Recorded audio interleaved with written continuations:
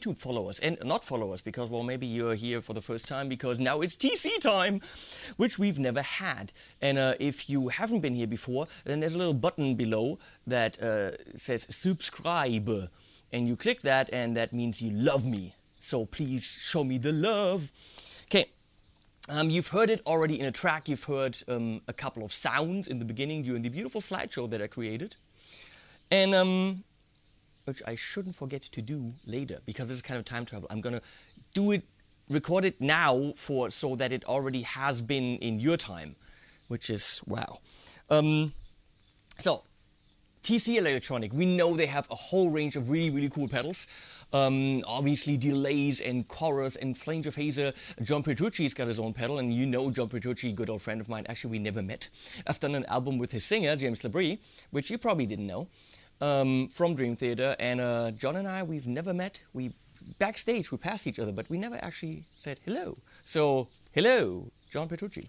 Um, anyway, um, they have a great range of pedals, and I've always been extremely interested in them because they look cool. They, uh, the digital ones or the effect pedals, they have tone print technology, which means, as far as I understand, is you can plug in a USB cable and download favorite sounds from your favorite artists, which allow for more flexibility of the pedal than it has just with the controls. So they can actually access more controls in the back end of the pedal. Um, you can even download those tone prints, as far as I understand, with your cell phone. It beeps into the pickup, kind of like old uh, telephone, telefax, tele beep beep technology, and that goes into the pedal and actually downloads the parameters right in there. They're crazy. So, why do I have this? Well, um, I it's a little bit weird. Um, I actually I have more than I don't know 300 pedals which you know by now because we've tested them all. Um, but I really wanted to get my hands on one of those TC pedals, first of all, to show TC Electronic what I can do, and secondly, uh, because I was interested, what's, what's the deal with them?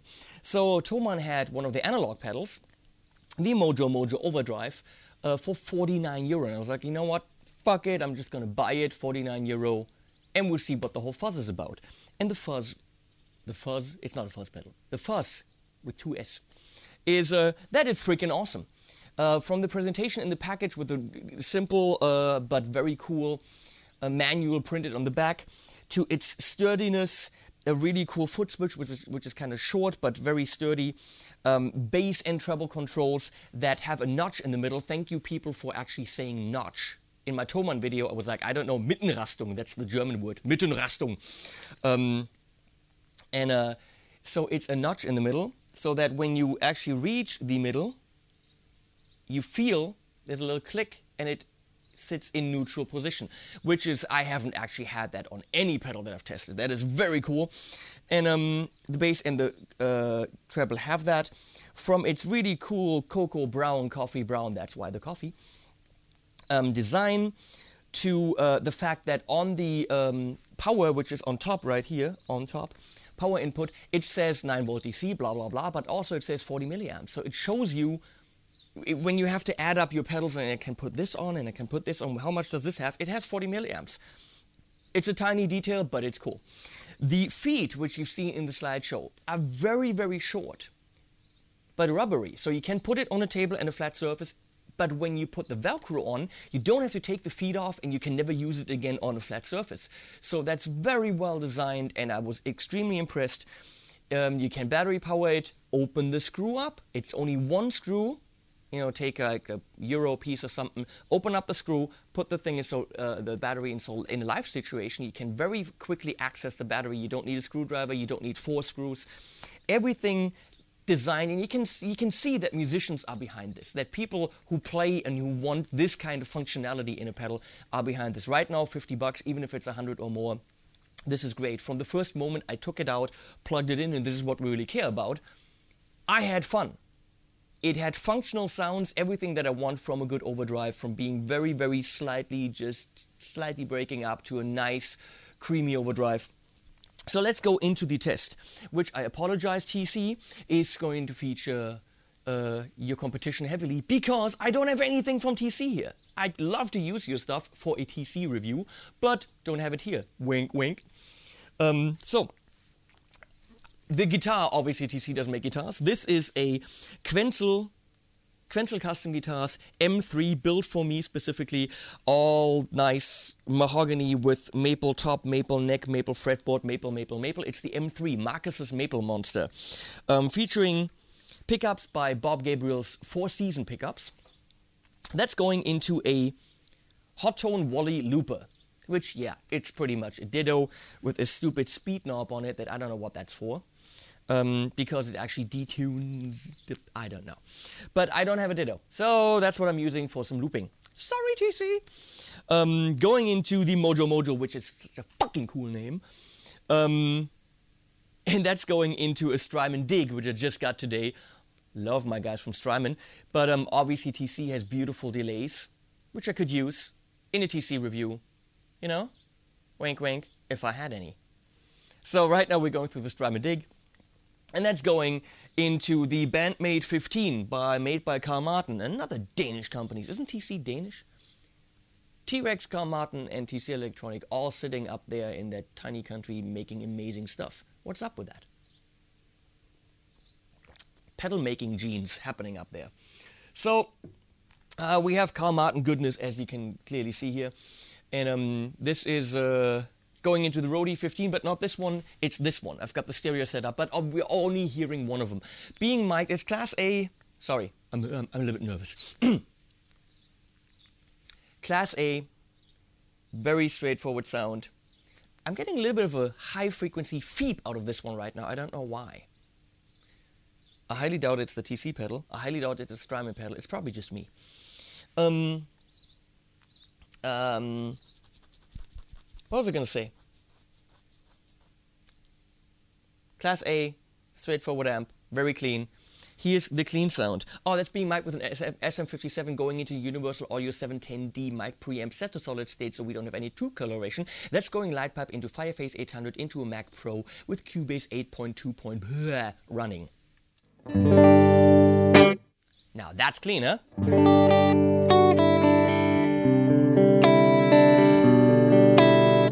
Cleaner? If I if you see me pushing the tone knob like so, we are on single coil.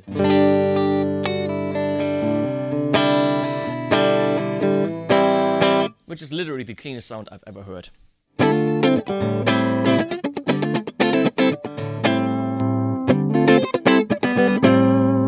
So we're gonna engage the pedal in middle position with the voice knob up. I think the voice knob gives you a little bit more bass response. I don't know in what in what in what situation in what. Bruno, hello. The beagle is going outside.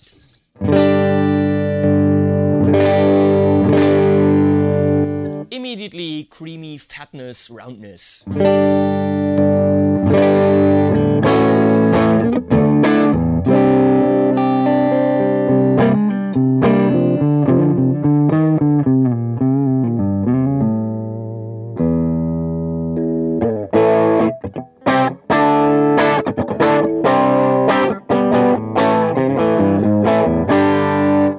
Let's go straight into a loop and then we'll twiddle some knobs. Not that one. How about I, you know, play a good one?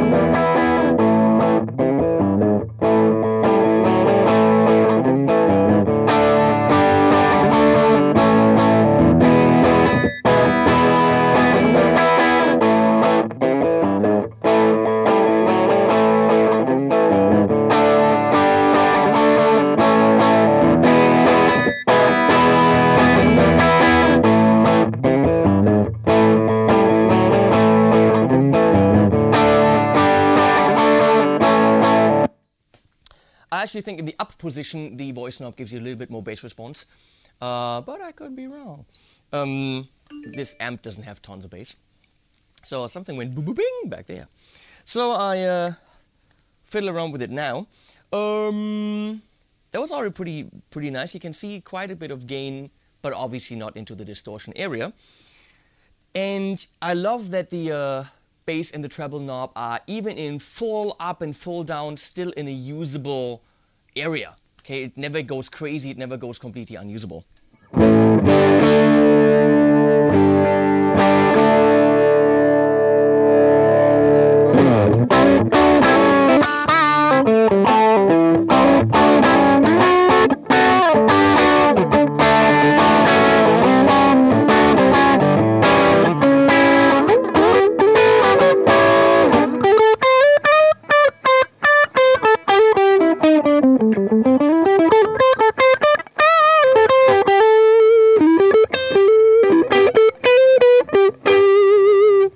Nice, nice ploppy sound. Let's take the gain out.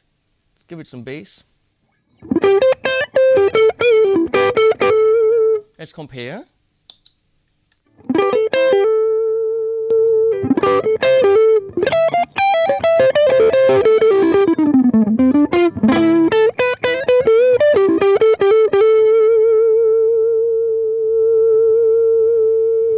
Let's do this. For open chords with just a little bit of little bit of dirt, I would do this.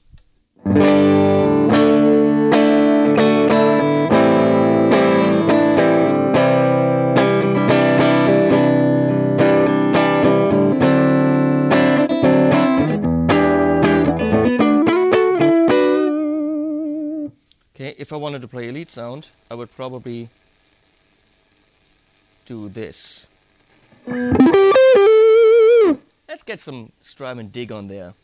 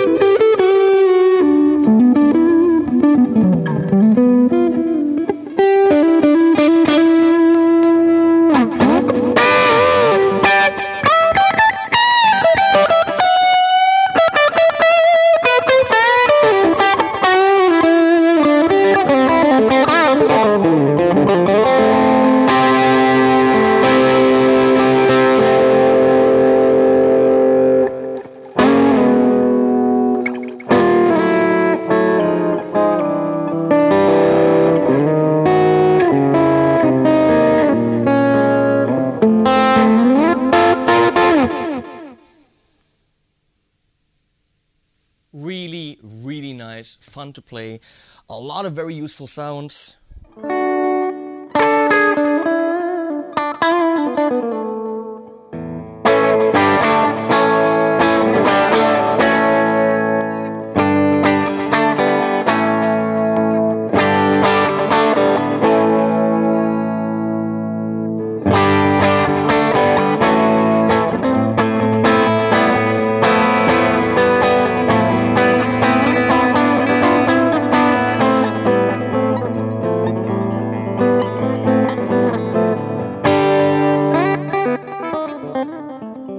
As I said, immediately worked for me. So, uh, well, here's my two cents.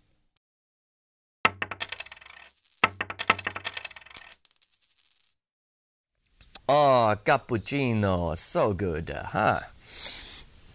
So, uh, what are you doing all over there, all the way over there? I don't know. It's weird. I don't know if this works. Well, here's the TC Electronic Mojo Mojo. And uh, my two cents on it is that uh, it's awesome. I mean, seriously, from the first moment I got it, I was comfortable with it. It, it it impressed me with its build quality, its slightly original shape. As I said, I've, I mean, I'm, I'm coming late to the party. I've never had a TC electronic pedal. The notches on the bass and the treble um, are a very nice detail. The very uh, short, can you see that? Okay, try to try to really concentrate. The really short feet on the pedal are great because you can put them on a slippery surface and it stays there, but you can put Velcro on it in the middle, I would assume so, and it still sticks while the feet stay on. The, what you can't, why can't you see this? You might need glasses. Fuck, I have to get up now. Mmm, cappuccino. Man. YouTube people. The short feet. Can you see how short the feet are? Very nice, huh? It's not it's not focusing on the pedal. And then um, the big screw, so live. If you really needed a battery, take a, a coin, open it, put the battery in. Um, it's a very, very short but very sturdy looking switch. Um, yeah, I really like the fact that it says the milliamps here. So, yeah, I'm gonna, I'm gonna go back now.